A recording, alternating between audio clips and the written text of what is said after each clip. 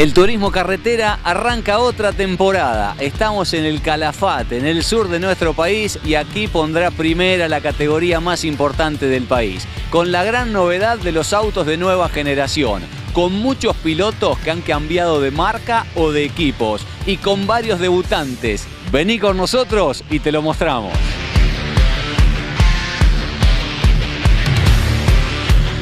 Toyota tendrá dos Camry de nueva generación. Este es el que armó el equipo de Marco Jacos con toda su gente, el que va a conducir Andy, que este año luce un color diferente que es el que va identificando a la marca en todo el mundo.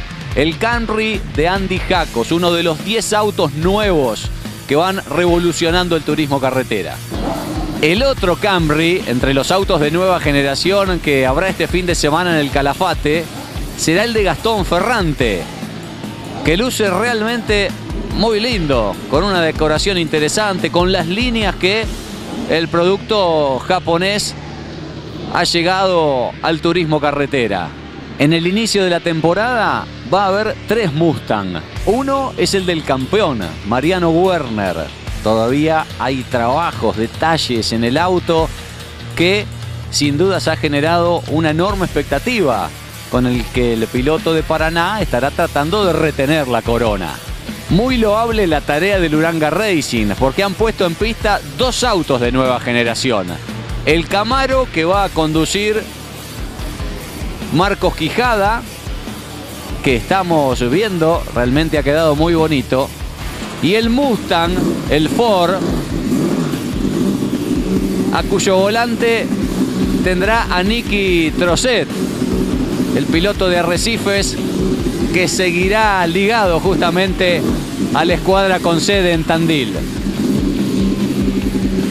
Y el tercer Mustang que habrá en pista es el del DTA Racing, el equipo de Ulises Armelini, y que será conducido por Juan Bautista de Benedictis. Por eso luce este verde tan tradicional para la familia de Benedictis en el turismo carretera.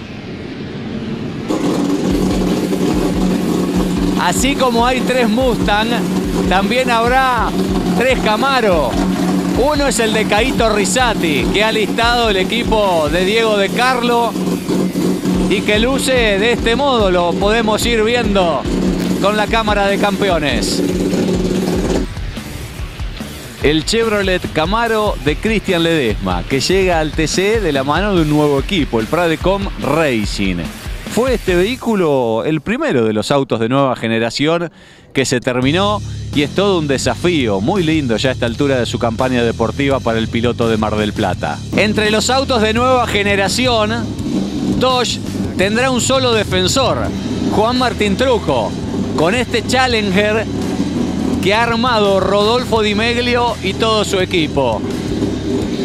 Y este es el Torino, la imagen del auto restilizado por Maxi Juárez, con el trabajo del equipo de Esteban Trota, que es sin dudas uno de los más mirados. Ha quedado realmente con unas líneas agresivas, muy lindo desde lo estético. El Torino que va a conducir el campeón del TC Pista que debuta en el TC, el sanjuanino Tobías Martínez.